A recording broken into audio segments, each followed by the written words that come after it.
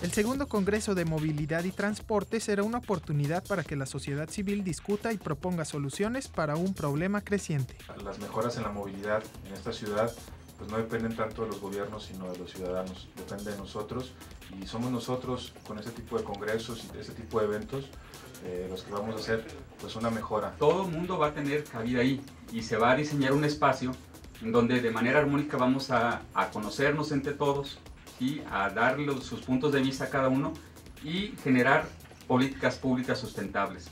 Interesados en asistir a las conferencias y participar con propuestas pueden registrarse en el sitio de servicios universitarios. La cita es el 8 y 9 de noviembre en Expo Guadalajara.